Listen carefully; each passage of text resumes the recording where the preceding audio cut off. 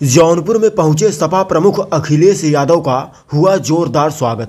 प्राप्त जानकारी के अनुसार आपको बता दें कि समाजवादी पार्टी के राष्ट्रीय अध्यक्ष अखिलेश यादव का वाराणसी से लालगंज उद्घाटन समारोह में जाते समय किराकत में कार्यकर्ताओं ने जगह जगह भव्य स्वागत किया। जिस दौरान जिला अध्यक्ष राकेश मौर्य व विधानसभा अध्यक्ष नीरज पहलवान के नेतृत्व में अंग वस्त्र व अंबेडकर की प्रतिमा उन्हें भेंट की गई।